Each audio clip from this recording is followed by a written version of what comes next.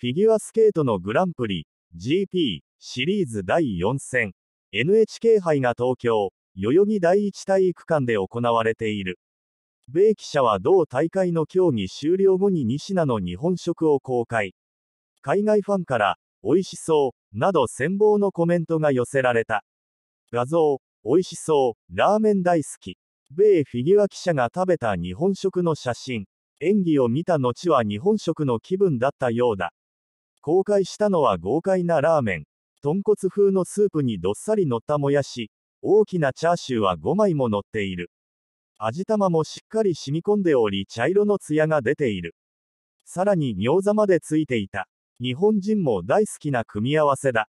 米国の名物フィギュア記者ジャッキー・オン氏は、夜通し続く NHK 杯にはお楽しみが必要だ、と記し、自身の X とインスタグラムで実際の画像を公開。タグもついており、ニューヨークのつけ麺や、食べとも、だと紹介している。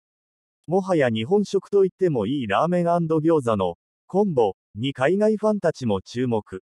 美味しそう。NHK 杯の取材本当にありがとう。ラーメン大好き。などと反響が集まっていた。